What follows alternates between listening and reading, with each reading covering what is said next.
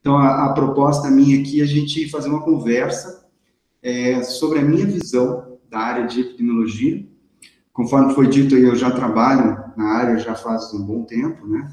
Comecei aí o meu curso de doutorado no ano de 99, e no, no doutorado eu já comecei a, a, trabalhar no tema, digamos assim, em abordagens é, epidemiológicas no estudo de doenças em plantas.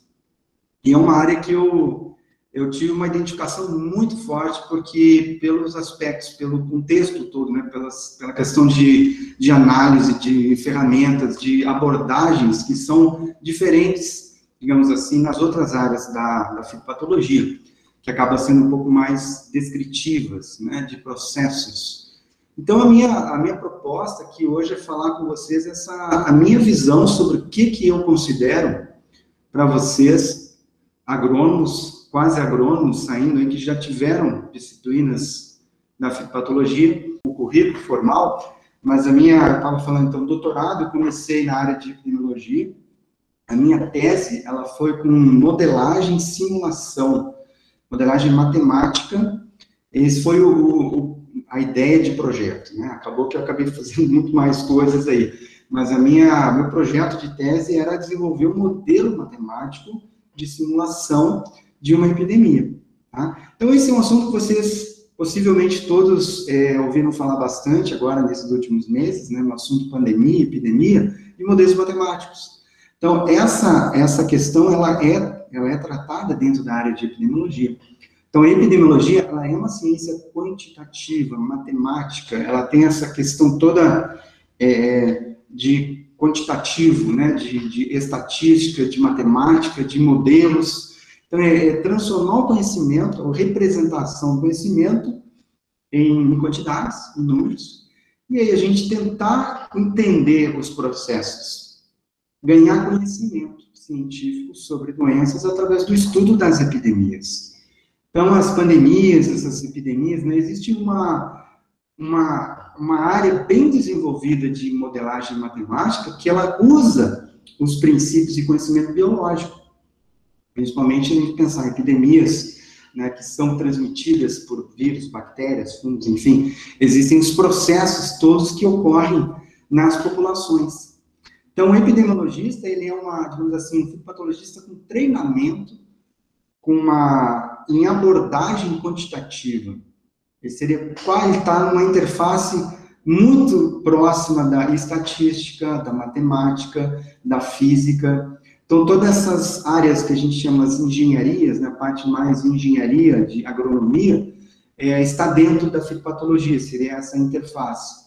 E isso me fascinou bastante na época, porque envolvia a parte de computação.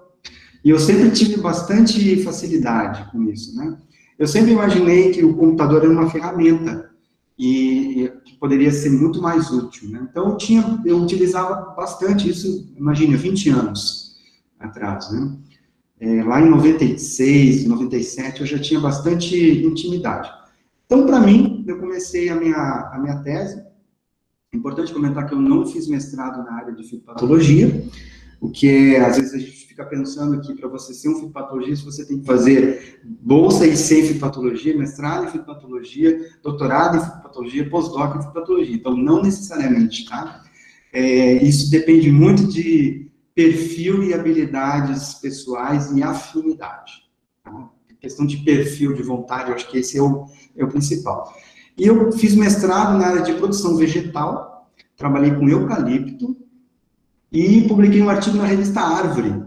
Mesmo, mesmo fazendo mestrado em Pelotas, saiu aqui na revista aqui da UFV. E eu trabalhei com cultivo in vitro de eucalipto. E aí eu abri um curso, na verdade eu fui aluno da primeira turma de doutorado em fitossanidade, lá na UFPEL, e foi a primeira turma, na verdade eu fui para fitopatologia por uma oportunidade de ter bolsa, porque não era uma área que eu nem gostava muito, porque é, em Pelotas ela era muito complicada, a, as aulas eram bastante difíceis, então não era uma, não era uma disciplina atrativa, digamos assim, ela, ela espantava muita gente, né? E, mas por uma questão de oportunidade, de ter sido apresentado para professores e ter ouvido falar de algumas linhas, eu acabei topando com a epidemiologia e justamente já com um assunto bem matemático, que eu não tinha base nenhuma, assim, né? Eu fiquei pensando, como é que eu vou fazer uma tese de matemática se não tenho bagagem, assim, né? No nosso curso a gente não tem uma, uma matemática muito básica, né? Aí você começa a entender, né, é, a, a epidemiologia, você começa a achar, pelo menos para mim, achei fascinante essa questão da gente, essa possibilidade da gente é, entendimento de processos através de, de quantificação, de representação, de modelos, de símbolos. É, isso como qualquer área é, da física, matemática, né, a gente entende muito esses processos no momento que a gente consegue simular uma situação real, né? Então, é, epidemiologista trabalha com modelos matemáticos. O que, que são esses modelos matemáticos? Eles são simplificações, que são importantes, última, em última instância, para o manejo. Se a gente pensar todas essa, toda essa questão de pandemia que nós tivemos aí, qual foi a primeira ferramenta que foi usada na falta de dados sobre epidemias? Os modelos matemáticos. Então, o que se conhecia de disseminação, dispersão, contágio é, de, entre agentes vetores, né, no caso humanos, foi simulando cenários possíveis. Então, essa é uma ferramenta interessante, que precisa ter um mínimo de conhecimento biológico, conhecimento epidemiológico, no momento que a gente é, eleva para a escala da população, a biologia na escala da população, de uma doença é, é a epidemiologia, e aí as decisões, tomada de decisão como manejar as doenças, a prevenção da disseminação, a prevenção né, de, de danos, digamos assim, ela começou com os modelos matemáticos, com pressupostos, com premissas, com simulações, que, logicamente, não estão corretas sempre, mas tem erros, né? Então, para mim, na época, aquilo me fascinou bastante, essa questão de poder trabalhar com uma ferramenta que, no manejo, ela pode ser útil. Então, como agrônomo, né, a gente tem, sempre tem essa, essa vontade de desenvolver algo mais prático.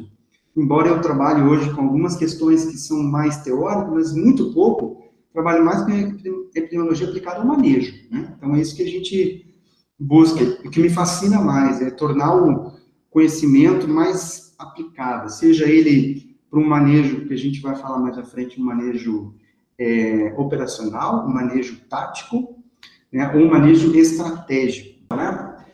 A gente vai falar sobre epidemia. Então, a primeira coisa que a gente deve ter bastante claro, o que é uma epidemia?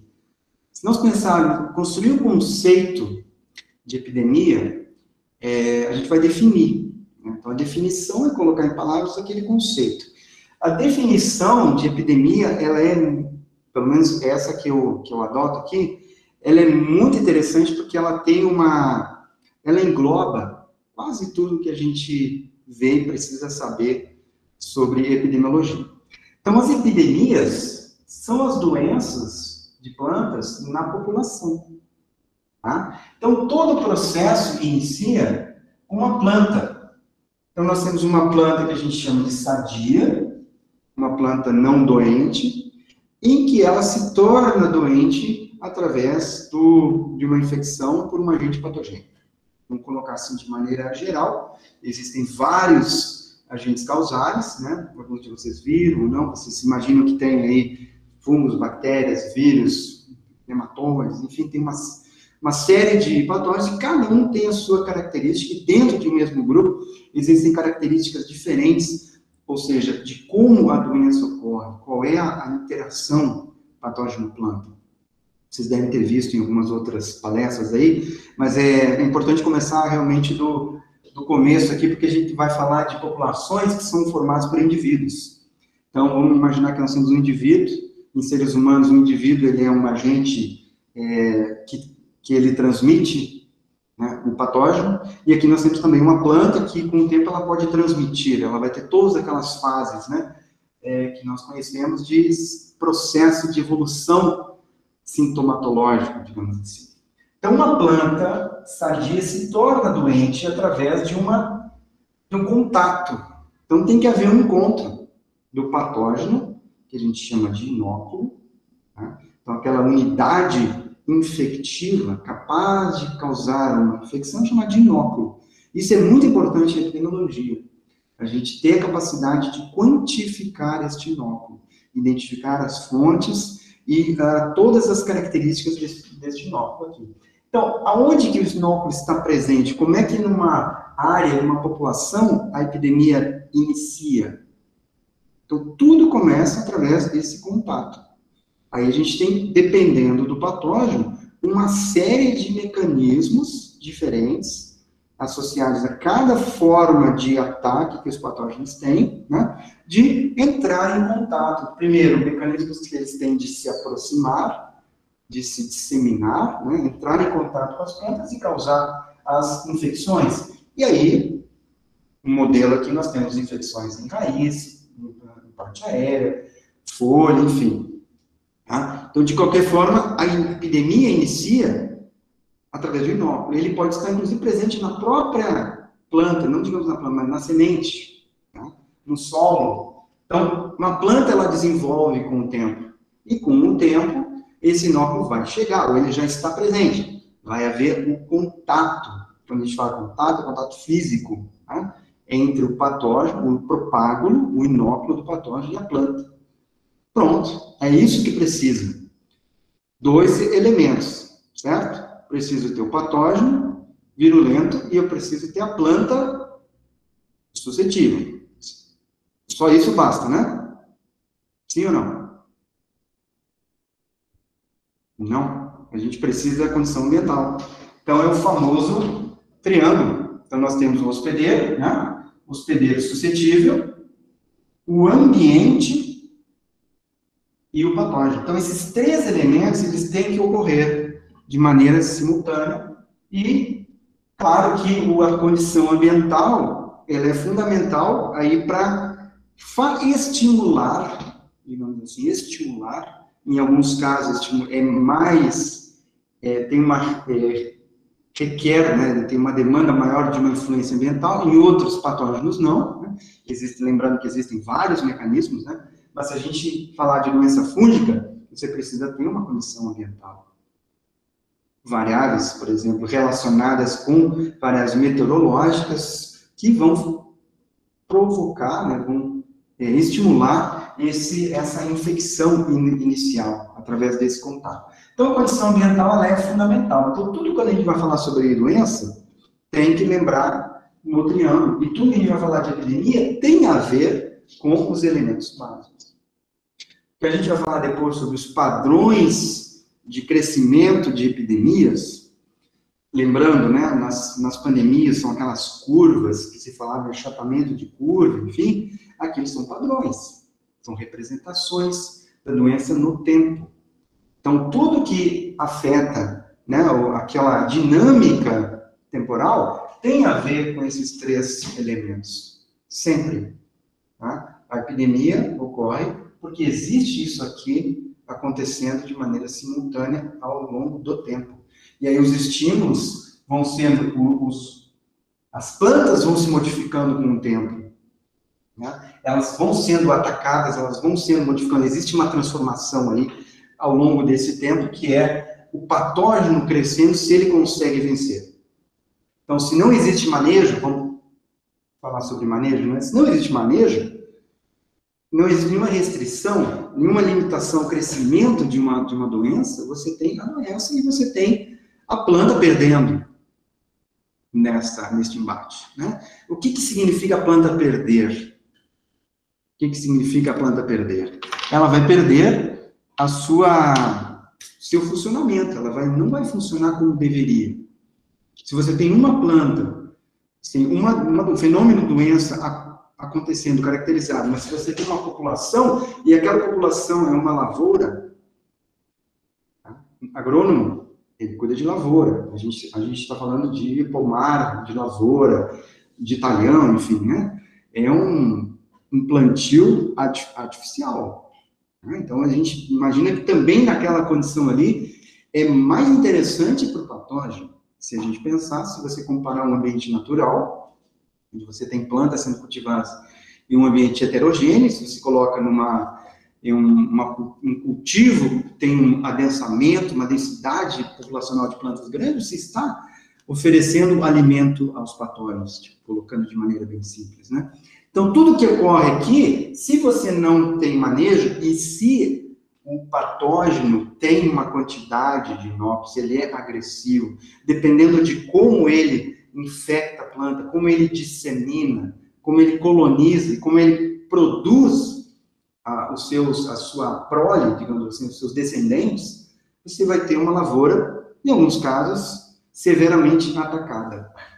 Né? Então, a gente tem epidemias, ocorrem sempre quando você tem populações.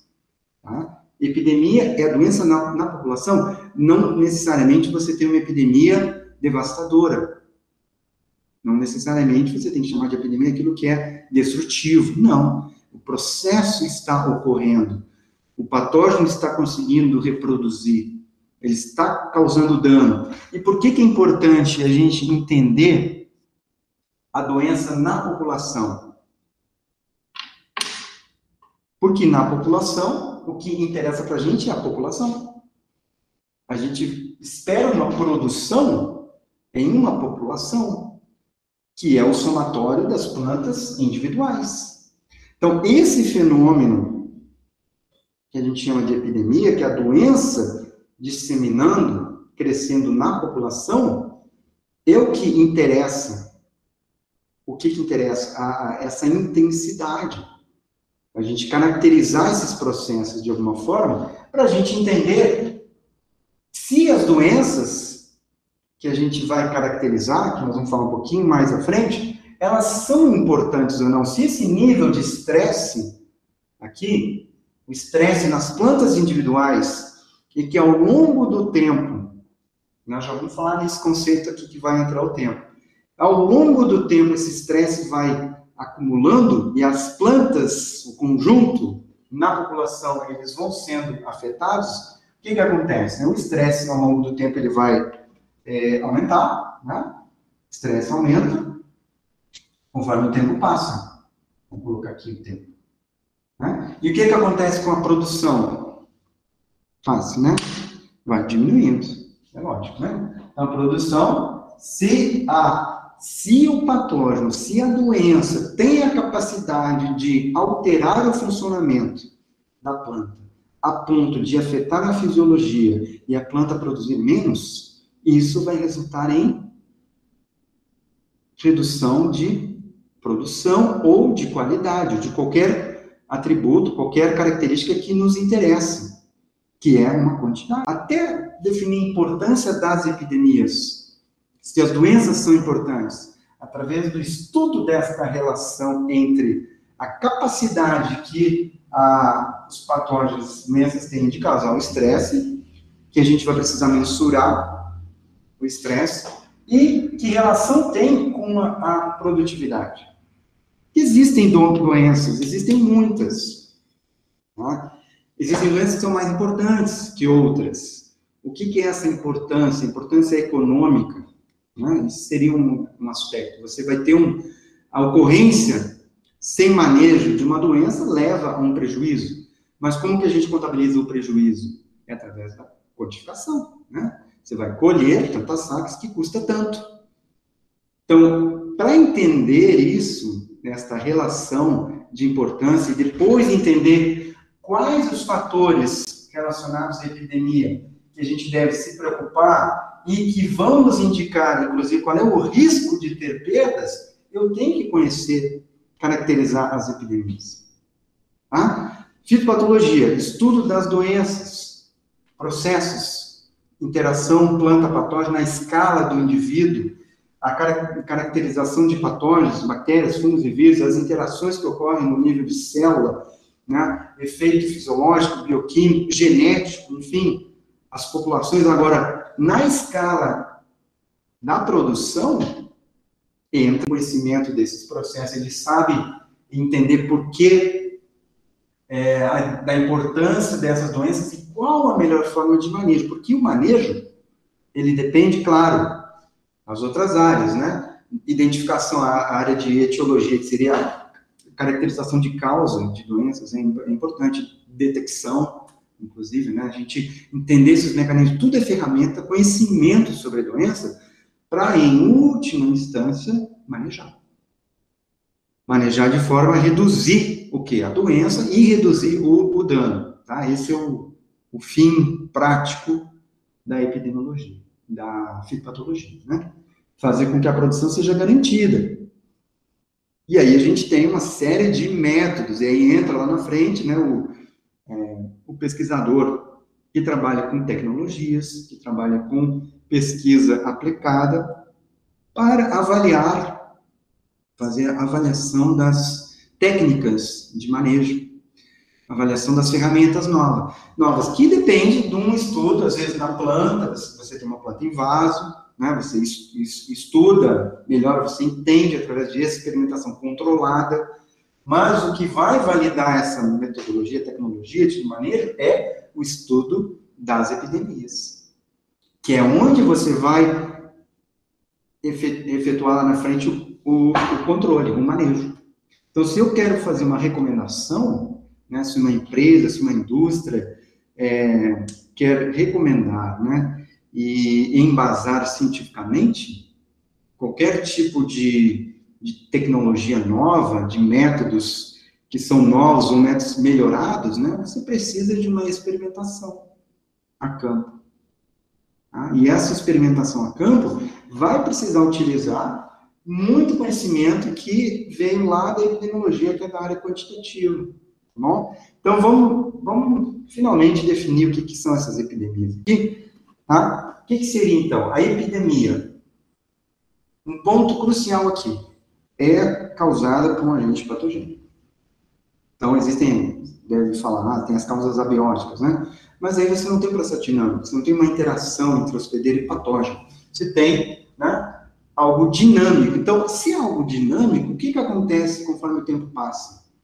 O que, que acontece na dimensão espaço? Você, você já tem maior, maior quantidade de doença em, em locais diferentes de outro, ou ao longo do tempo você tem um, um aumento ou uma diminuição, em alguns casos. Então, isso a gente chama de mudança. Tá? A epidemia está mudando. Porque os processos, eles são dinâmicos, processos biológicos, as interações, elas são dinâmicas. Então, a gente vai chamar de mudança na intensidade. Mudança. Mudança implica, é, implica em um estado uma certa quantidade, um tempo, e ela passa o tempo e ele tem outro. Então, isso a gente chama, tem muito a ver com as taxas. Taxa tem a ver com tempo. Então, você vai ter que caracterizar essa mudança do quê? O que, que eu preciso caracterizar? A chamada intensidade. A intensidade da doença, ou a quantidade, vamos chamar de intensidade com um termo genérico, tá, gente? Intensidade que pode ser definida de várias formas, tá? que alguns lembram. É, como é que a gente define a, os termos, as variáveis resposta? Quando a gente vai numa planta, o que, que a gente mede né, em relação à doença? A gente pode expressar na forma de incidência, severidade, número de lesões, prevalência, enfim. Então, isso é a intensidade. E na epidemiologia, existe um, uma sub-área, uma ramificação é, é, muito importante, tá? que é chamada fitopatometria, que é a área essa de, de mensuração, né? Então, a fitopatometria seria um ramo que é importante da, da fitopatologia, que está dentro do, digamos assim, do, embaixo do guarda-chuva da epidemiologia, fitopatometria. que vai caber aqui, gente. Tá? É fitopatometria. Então, medição de doenças. E a fitopatometria tem N aplicações, né? Ela vai além da questão de você quantificar doença no campo. Você vai utilizar os métodos de quantificação de doença em, em uma placa.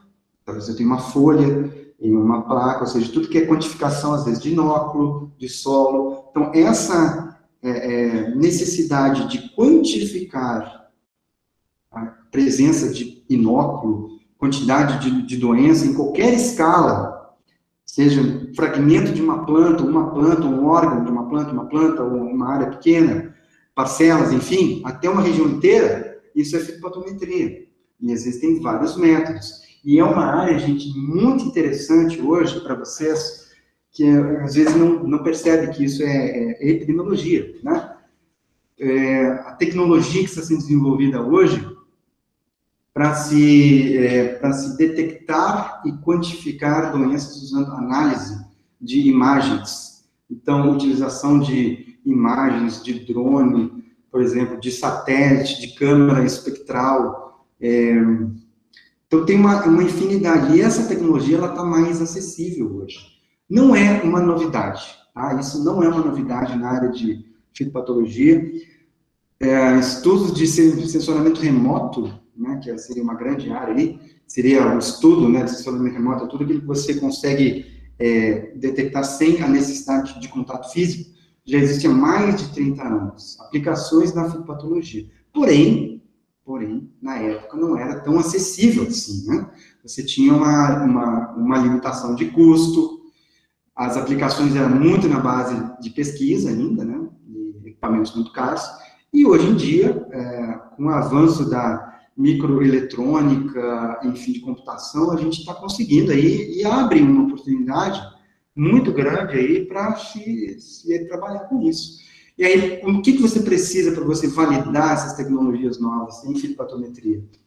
Precisa do que a gente chama de é, a verdade que ocorre lá no solo. Você precisa validar. Então, aquilo, aquelas tecnologias que permitem detectar doenças, separar doenças que você não precisaria fazer pelo olho humano, mas pelos padrões, identificação de padrões sintomáticos de, de doença, você poderia fazer de uma forma é, usando inteligência artificial.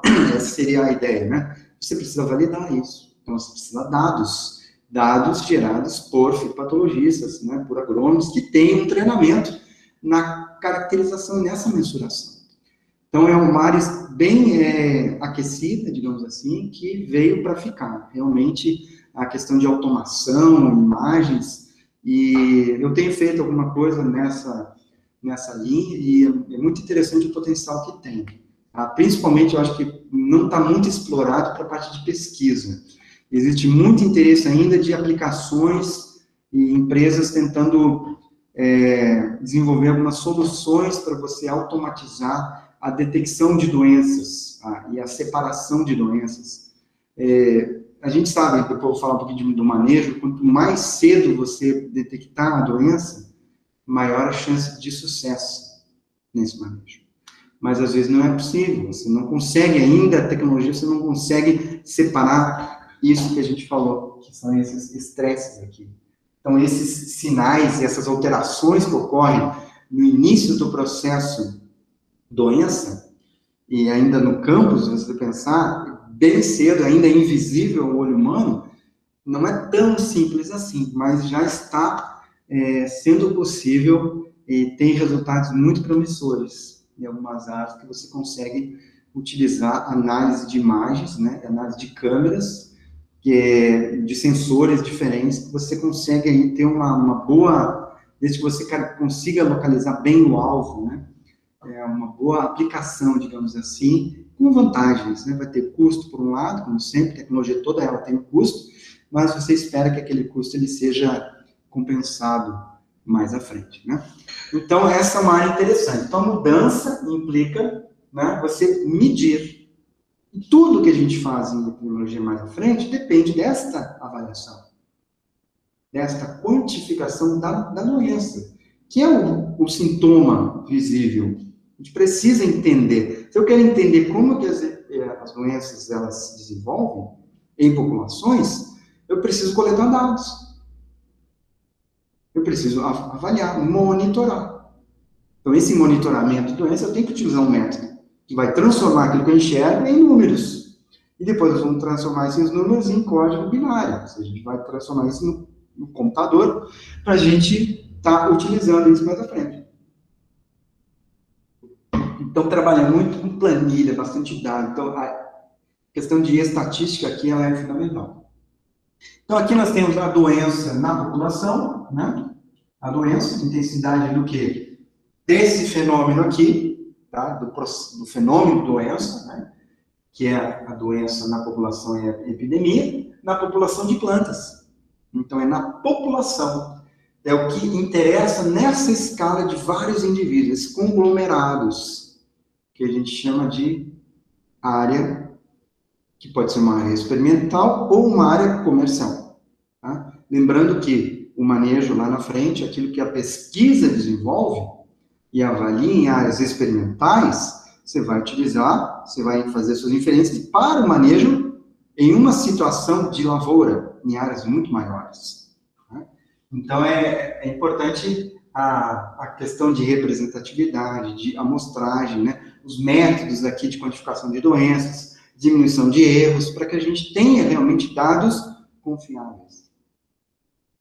Então, dados, eles são importantíssimos.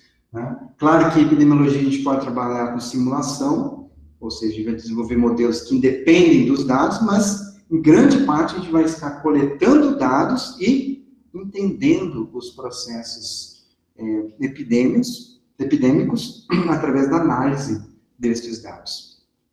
Doença na população de plantas, aqui, e fundamental aqui, que é a mudança da intensidade da doença população de plantas no tempo e no espaço.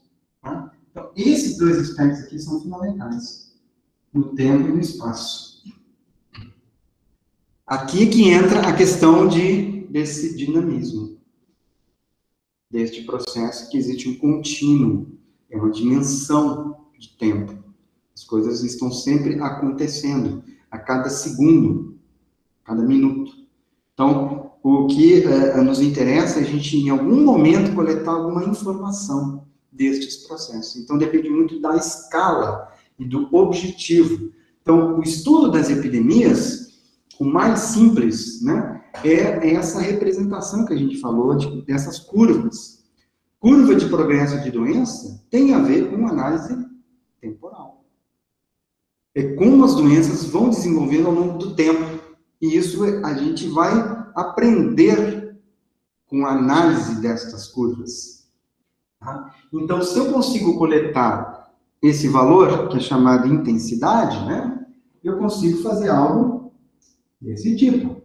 Eu tenho um tempo aqui, né, e vamos chamar essa intensidade, vamos chamar de, de y, que está no eixo y aqui, vamos chamar de termo genérico de, de y. O que, que acontece? Então, normalmente, se nós formos no campo e monitorarmos e formos coletar dados em relação à quantidade de doença que está presente a cada tempo, Tá? Utilizando um método aqui, eu vou transformar isso em números. Então, eu vou representar desta forma. Aí, esta representação, normalmente é a quantidade de doença que tem em cada tempo.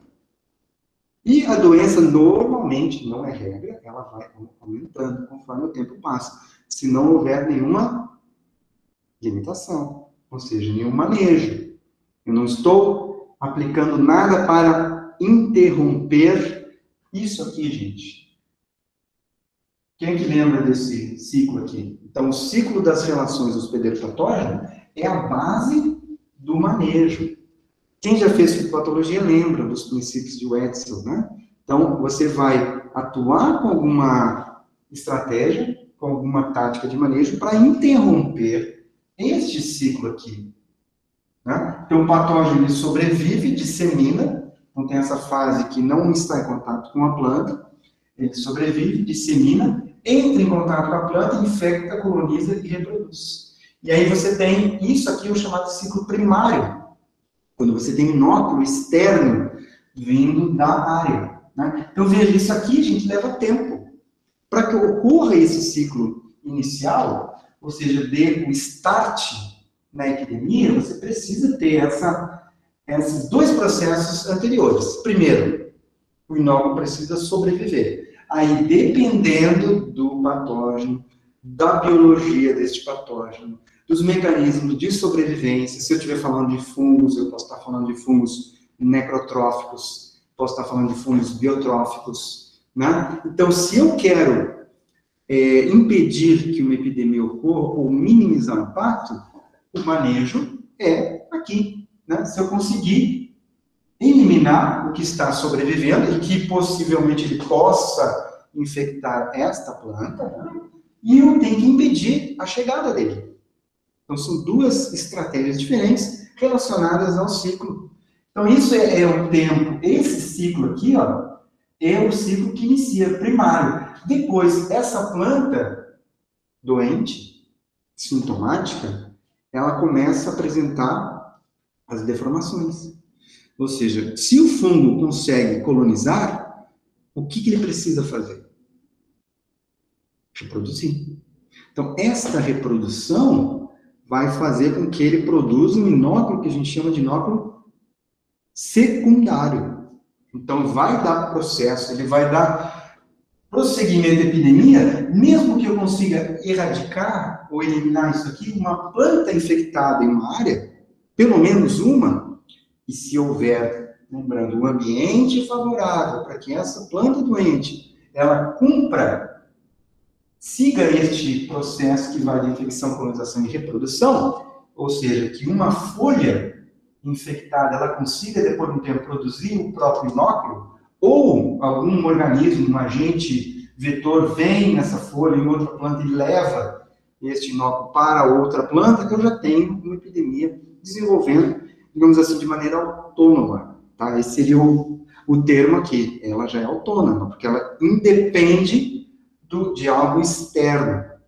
E isso é a base. Quando a gente está falando aqui de epidemia, por isso que eu volto aqui, ó, no triângulo, no ciclo, porque o manejo, né? Depende do manejo é para interromper este ciclo. E vocês talvez lembrem, quem não lembra vai ver ainda. Manejar a doença é a coisa mais fácil que tem, se você entender a lógica, né?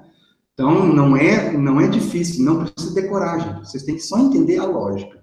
E vocês entendem que os organismos precisam sobreviver, eles precisam disseminar, essas duas fases ocorrem fora. Então, vai ter alguma forma de eu eliminar esse, esse nódulo. Como é que a gente pode destruir um nódulo? Aí vocês começam a pensar em vários, lembrar de várias possibilidades que tem de matar, ou de reduzir né, de minimizar a, a presença, a quantidade, enfim, deste, deste inóculo. Se o inóculo inicial é importante para causar doença, às vezes é tão grande, vamos pensar assim, exemplo, tá? É, no caso de um fungo biotrófico, no caso de ferrugens, ferrugens você tem um inóculo sobrevivendo em planta viva. Em regiões muito grandes, e considerando a capacidade que esse inóculo tem de disseminação pelo ar, pelo vento, devido à característica biológica, aerobiológica, então olha a física aí onde está entrando, né? Esporo pequenininho, levado facilmente pelo vento, é um mecanismo que o fungo desenvolveu ao longo da sua evolução. Aqueles mais aptos a dispersar foram os que predominaram, né? Então veja o processo que, é, de evolução que tem, essa capacidade de viajar a distância longa, cada vez mais foram prevalecendo aqueles que tinham uma capacidade evolutiva de viajar mais longe.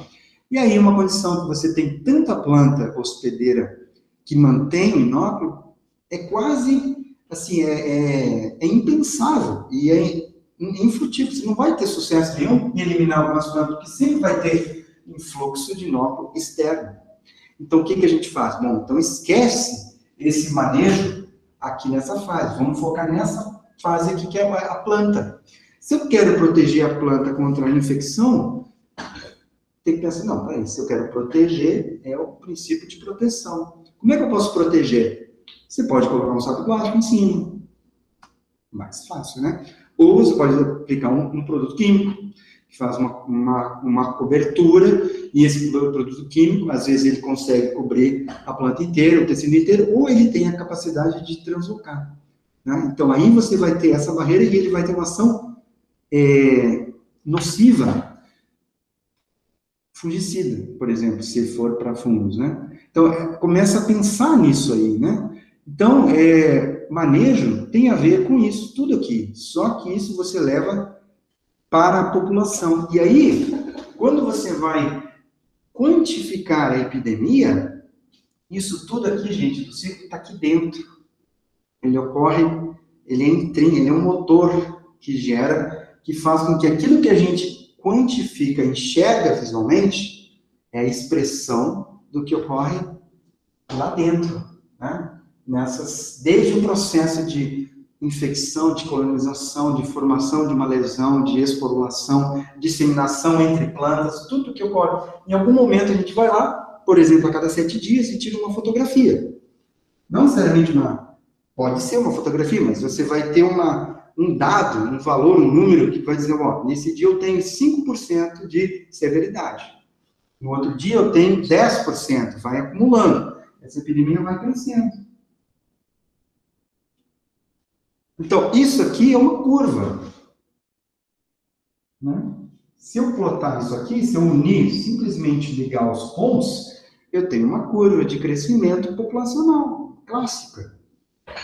Eu tenho, eu posso ajustar um modelo matemático para essa curva, que é o que a gente faz. Né? Então, a análise das epidemias no tempo, ela objetiva ajustar o modelo matemático a essas curvas o modelo de regressão, onde eu vou estimar parâmetros. E estes parâmetros do modelo que eu estimo, o que, que eu preciso ter para estimar? Eu preciso ter o tempo, né? E eu preciso ter esse valor de y em cada tempo. Aí eu ajusto o modelo matemático que vai me dar dois parâmetros. É, existem vários, vários modelos aqui, né? Depois a gente pode até falar alguns nomes aí, mas o mais importante é, é que são duas formas, digamos assim, é, desses modelos que têm uma, um significado epidemiológico, que eles permitem classificar as epidemias em dois grandes grupos. Então, este modelo aqui, né, qualquer modelo é esse, uma função matemática, eu vou estimar os parâmetros, eu vou obter, eu não conheço. Aí eu vou estimar o que a gente chama quantidade de doença no tempo zero, que é o chamado inóculo inicial. Né? Então, isso é importante. Por que, que é importante eu ter a capacidade de, em comparação de tratamentos, em avaliação de manejo, entendeu? Avaliação de estratégias, de definição de como eu vou manejar as epidemias de maneira eficiente, preciso monitorar primeiro as epidemias, lógico. Né? Então, eu preciso extrair informações da epidemia. Só que não é uma epidemia só eu vou ter uma epidemia gerada por um, um tratamento A, outra pelo B, pelo C, enfim. Depende do objetivo do trabalho. Isso pensando em pesquisa, tá, gente? Pensando em, assim, em pesquisa é, fitopatológica, com o objetivo de você avaliar a estratégia de manejo, que é o, que é o nosso enfoque aqui, tá? Nosso objetivo final, falando de manejo de doenças, né? Eu vendo como é que a epidemiologia, ela, ela é importante e ela é a base. Todas as outras é, áreas da fitopatologia são importantes para o conjunto, mas o que você vai utilizar de abordagem de análise é da epidemia, porque o manejo é nas epidemias. Então, o que, que o modelo vai me dar? Dois parâmetros. O primeiro, vamos chamar de y no tempo zero, é o chamado y0, tá? e depois ele vai me dar um segundo, que é uma taxa, que é a velocidade com que essa doença vai aumentando na sua intensidade ao longo a cada unidade de tempo, tá? Então isso vai me dar um valor que a gente vai chamar de em inglês chama de rate, chamar de R, uma taxa R. E o manejo nada mais é do que você testar estratégias que vão fazer com que a epidemia, qualquer efeito positivo em redução da doença se manifeste em algum ou ambos desses parâmetros que descrevem a epidemia. O que é uma taxa? O que faz com que uma doença, uma epidemia, evolua mais rapidamente que outra? Todas as respostas estão aqui, gente. Quando eu perguntar, sempre volto aqui. Um ambiente extremamente favorável, um ambiente dependendo, né, se uma doença fúngica, uma doença bacteriana que necessita de, de chuva, de água e vento, um ambiente úmido, você vai tendo uma taxa maior. Então, você vai estimar esta taxa em uma condição. Aí você vai entender que você pode correlacionar depois essas taxas aqui, obtidas matematicamente, com outras informações, com outros dados sobre o que aconteceu durante a epidemia. O que, que aconteceu nessa epidemia que ela, que ela cresceu até, por exemplo, 0,9? vamos usar, em vez de percentual, acho que, acho, acho que fica mais fácil percentual, né? 100%, cresceu a 100%. A outra também cresceu a 100%, porém, ela começou mais tarde. Se eu olhar essa doença aqui, essa curva e essa curva, se eu olhar somente a severidade no tempo final, o que, que seria esse tempo final? Final, por exemplo, vamos pensar que isso aqui é um cultivo anual, por exemplo, né? Então, no final, é que eu já não consigo mais quantificar a doença, eu já tenho uma, uma severidade, uma incidência que é o máximo, né? É, já houve quase perda, pelo menos assim, visualmente, eu já chegou, a doença foi até o máximo, isso não quer dizer que destruiu a planta inteira, porque pensem bem que nem todas as doenças você tem 100%. Você pega uma folha afetada por algumas doenças, né?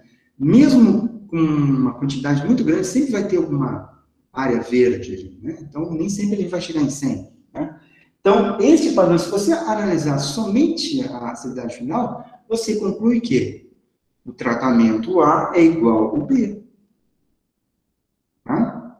Agora, se você utilizar a informação de a quantidade de doença no, no tempo, ou outras informações que a gente chama que é essa área abaixo da curva dessa doença, aqui, que vai me dar uma integral, vai me dar um valor, este valor vai ser menor do que essa área inteira.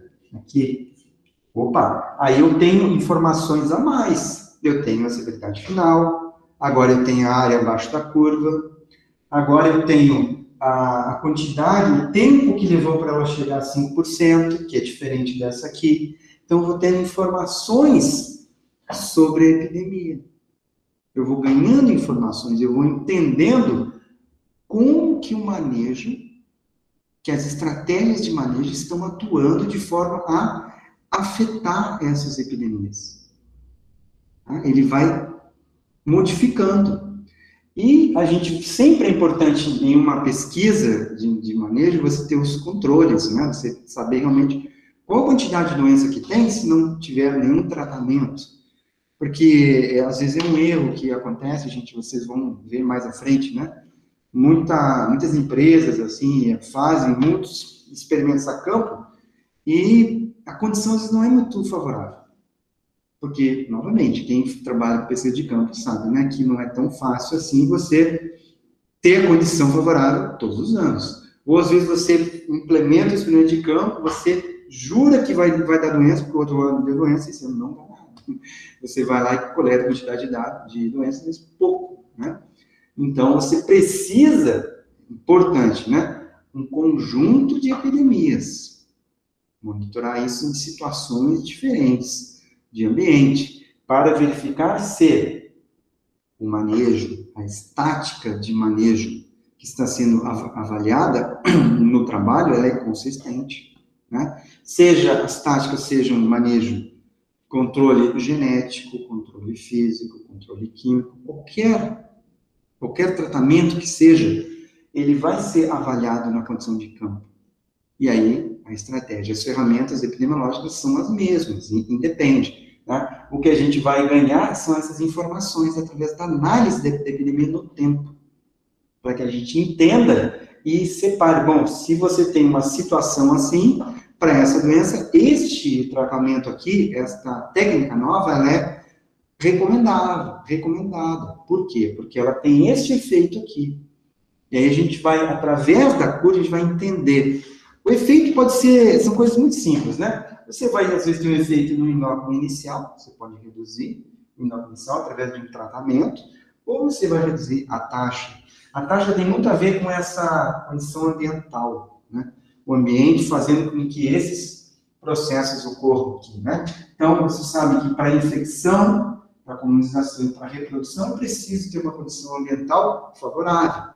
Existe um, uma faixa de valores ali, de umidade, temperatura, enfim, que são ótimos, né? Alguns são limitantes, às vezes estão mais, né, em áreas assim, em, em zonas mais críticas. Então, a gente precisa, então, a manutenção de uma epidemia se eu aplicar, por exemplo, controle químico, o que, que a gente espera? Se o modo de ação de um fungicida ele é protetor, aonde que ele afeta? Ele vai impedir a germinação de um esporo fúngico. Então, ele vai fazer com que, com o tempo, eu não tenha, tenho poucas lesões com o tempo. E isso eu vou verificar na curva. Tá? Então, a epidemiologia é essa é, área da fitopatologia que se preocupa em entender a doença na população, utilizando de métodos para quantificação, de representação e de análise temporal e espacial também. Né? Então, em outro caso, a gente pode ter um interesse em fazer um monitoramento para entender como que a, a doença em uma grande área vai disseminando com o tempo. Mapas regionais, né? onde a gente vai quantificando a cada período de tempo, né, diferentes mapas, como que essa doença vai disseminando e expandindo. Aí a gente entende numa questão regional qual é o manejo.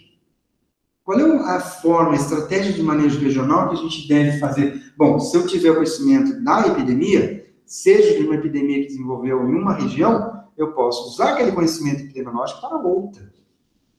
Tá? Então, conhecimento da biologia, ele é básico. Claro que nem sempre é transportável. Uma epidemia é a caracterização daquele momento lá, daquele passado, daquela situação. Então, por isso que para a gente entender mais, a gente precisa de várias avaliações, várias curvas para entender os padrões.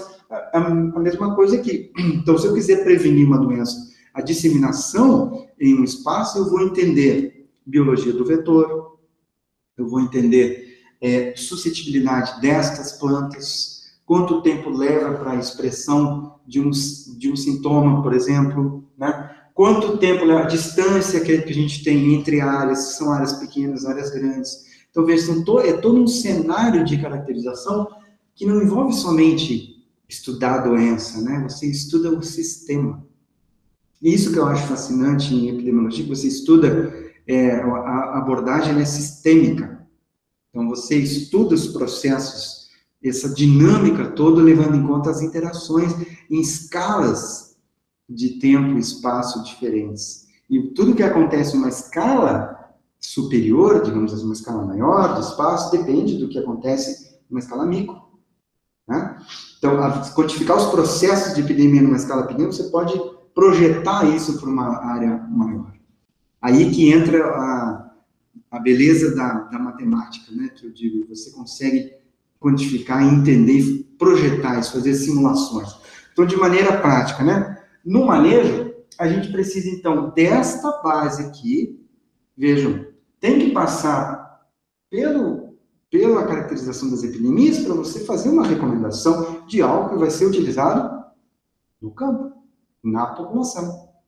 Seja num local, né, uma população, uma área pequena, ou uma área geográfica grande. Então, a gente vai tendo cole, cole, ah, coletar dados sobre epidemias, programas de monitoramento de doenças e pragas na área de entomologia também, é fundamental. Por quê? Porque o que aconteceu há 10 anos atrás, gente, há 5 anos atrás, muda. Por quê? Porque é um processo dinâmico e biológico. Os organismos, eles vão adaptando, as plantas vão modificando, o homem vai manejando vai mudando o que é? O hospedeiro, os genes, vai exercendo pressão de seleção no patógeno, vai modificando condições ambientais, ou o clima modifica sozinho. Então, aquele conhecimento que a gente tinha de uma situação, a gente precisa voltar e coletar mais dados. Por isso que epidemiologia, ela pode ser, é uma área que pode ser barata se você tiver dados mas os estudos acabam ficando mais caros se você precisa coletar dados. O que, que eu faço? Eu não tenho dinheiro, não tenho muito dinheiro, mas eu trabalho com pessoas, eu, eu trabalho com colaboradores. Então, a gente consegue muitas informações, muitos dados através de uma rede de colaboração. Então, isso também é, uma, é algo que precisa desenvolver. Você não trabalha, não trabalha é, é, por exemplo, sozinho não é algo que você precisa de é, alguns isolados de fungos ou algumas plantas e você trabalha numa escala pequena. Você precisa precisa trabalhar numa escala real de campo. Então você precisa trabalhar bastante com, com pessoas, né? Então, é, isso é uma, é uma outra característica, digamos assim, que o fitopatologista ele deve ter quando ele trabalha nessa escala maior, né?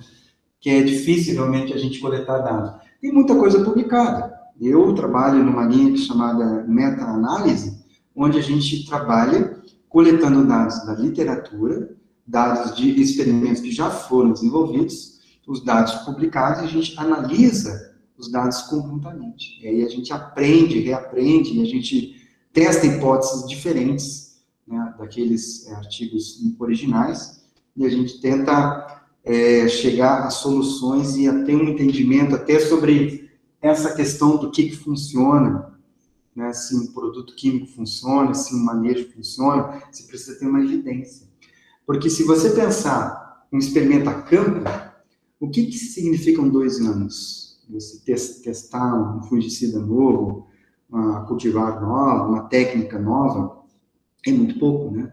Você precisa mais. Então, essa questão de você ter a, a quantidade de dados para você avaliar, você vai entendendo os padrões, você vai aumentando a sua certeza de, do efeito que, que existe. Né? Mas você tem mais, uma estimativa mais precisa daquele efeito, ou seja, você se aproxima mais do parâmetro da população, que você não conhece, mas que você tem uma amostra de experimentos onde você, então, é, avalia e conclui isso de maneira independente. Quando você reúne, você tem uma certeza maior. Então, essa é uma outra linha que eu atuo na área de epidemiologia, porque lida bastante, então, com o aspecto quantitativo.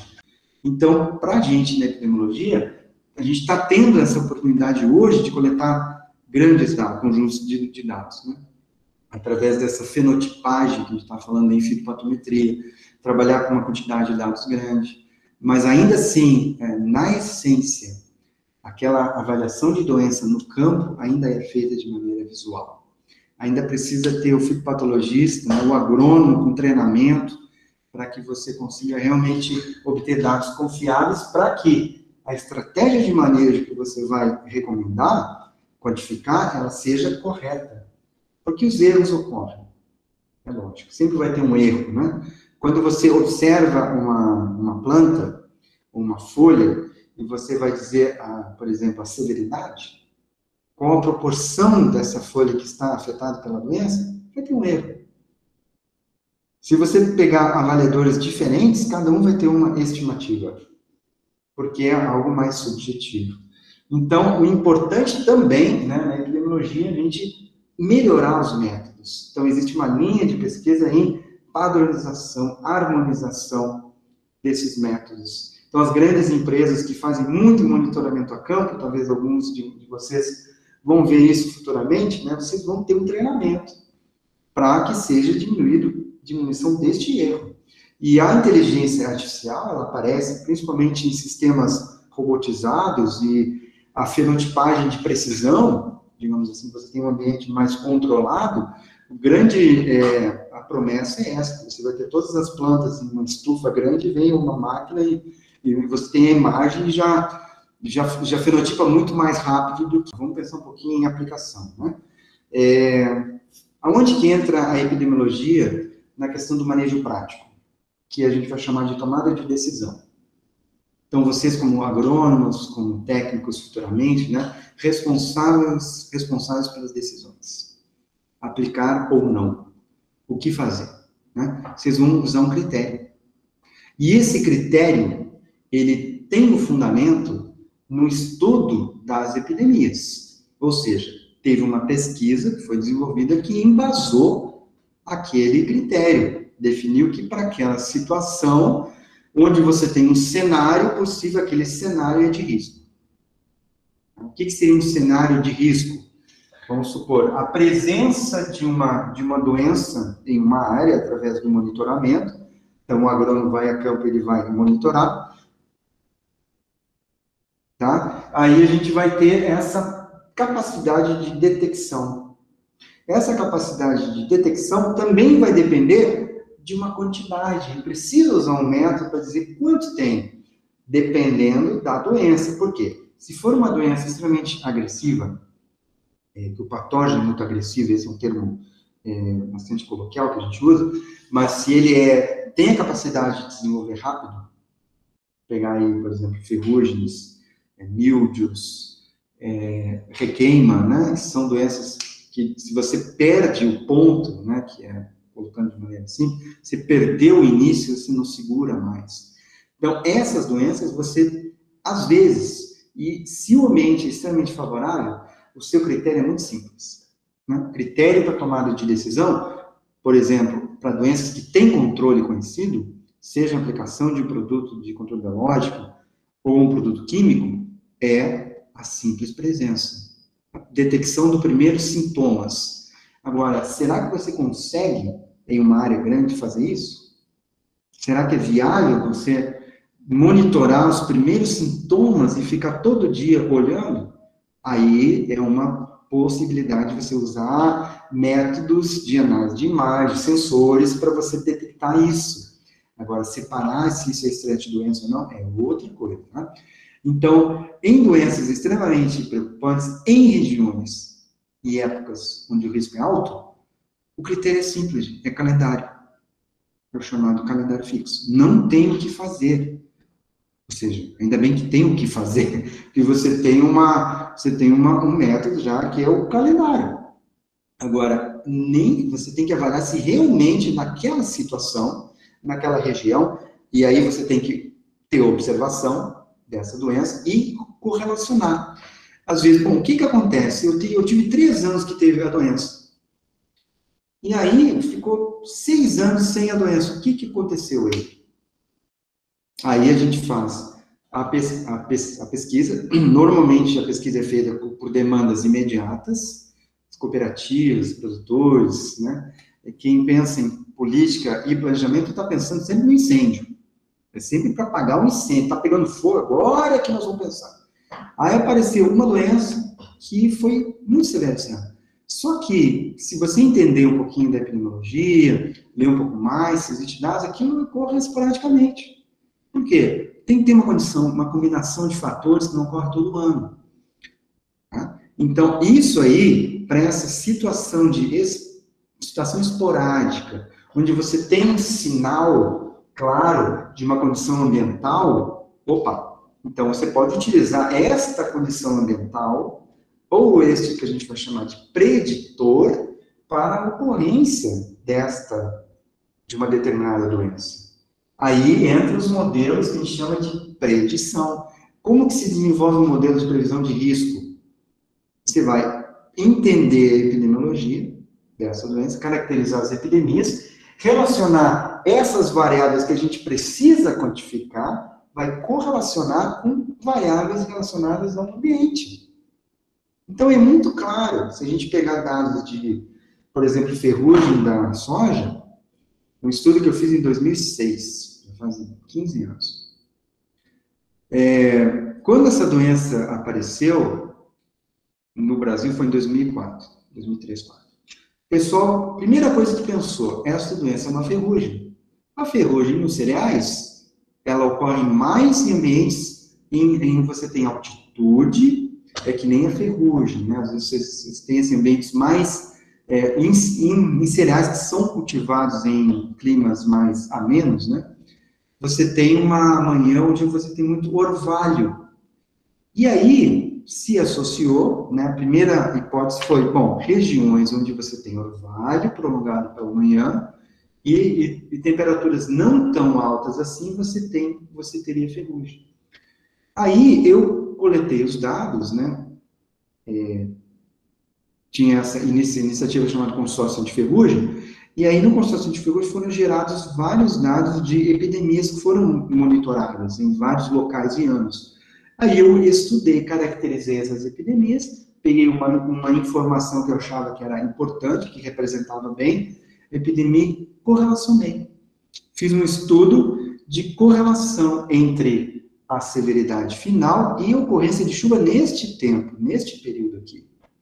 Tá? E aí eu descobri uma equação, na verdade eu né, ajustei uma equação linear muito simples, que dizia que a chuva no período de 30 dias após o início da epidemia nesta fase aqui de crescimento, né? detecção inicial, a partir dessa fase, aí eu quantifiquei a chuva. Você precisa tanto de chuva acumulada nesse período para chegar a tantos por cento de severidade. Então, tinha uma função matemática que explicou. Então, foi um estudo, é, na época, ele não foi muito, digamos assim, muitos não acreditavam que somente a chuva era a principal. Porque quando eu correlacionei com umidade relativa do ar, com temperatura, elas não apareceram como variáveis importantes. E depois desses anos todos, né, o que a gente sabe, o que consolidou, o que a pesquisa mostrou na época que a gente observou, exatamente isso.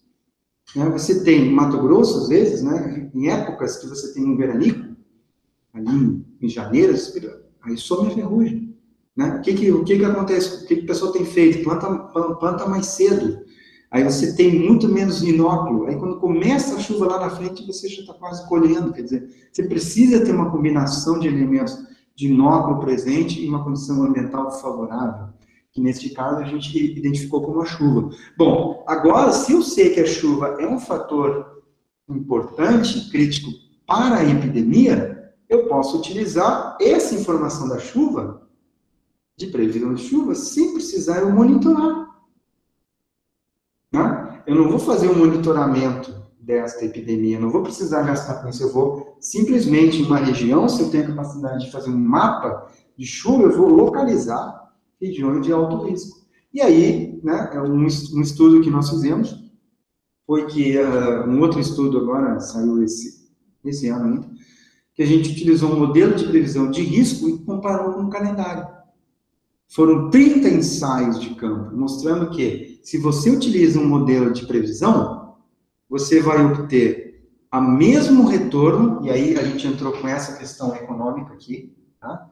A gente tinha a produtividade das parcelas todas, o, o calendário sempre, na verdade, ele indicava um número maior, porque em situações de menos chuva, você aplica cada 15 dias, por exemplo. E o modelo economizava, ele espaçava mais, ele atrasava uma aplicação, espaçava mais um ano, porque ele dependia de um alerta. Aí o que a gente viu, bom, você acaba produzindo menos, porque você aplica menos e protege menos. Mas em compensação, se você usar o calendário, você aplica mais. Você colhe mais. Mas no final das contas, o que interessa na conta financeira é que você vai aplicar quatro vezes, você gasta mais do que se você aplicar duas. Você vai gastar mais, né? E aí você colhe mais, mas aquilo que você colheu foi só para pagar o que você aplicou. Então, resultado, né? A conclusão foi: se você utilizar um modelo de previsão no manejo, como indicador da tomada de decisão, você vai ter uma vantagem, ou seja, você vai ter a mesma probabilidade de ganhar dinheiro se você usar o calendário com uma vantagem, que é muito importante hoje. Você vai estar tá prevenindo a, o surgimento da resistência na população do fungo ao fungicida, que é um problema sério hoje, seríssimo. Né? Então, essa, esse controle, é, digamos assim, preventivo que predomina? Porque soja está pagando bem, os produtos, né, eles se pagam, o produtor, então, ele, ele acaba vendo o resultado, mas o que a gente está vendo é que o mau manejo, né, é, não utilizando de conhecimento epidemiológico, digamos assim, utilizando um critério que desconsidera a epidemia, considera apenas o, a proteção, uma situação que é sempre de alto risco, que nem sempre ela ocorre, todos os anos, você vai estar expondo a população, você vai estar resolvendo um problema hoje e criando outro mais à frente, que é você perder uma ferramenta, né? Você perder uma molécula que funciona bem. Isso é, é, é claro. Se você pensar, ah, mas ele vai economizar uma, uma aplicação só, ou duas, mas escala isso. Escala isso para o estado inteiro. Né? Escala isso para uma, uma situação onde você consegue utilizar um critério né, com base epidemiológica para você economizar. Isso é um impacto grande. Né?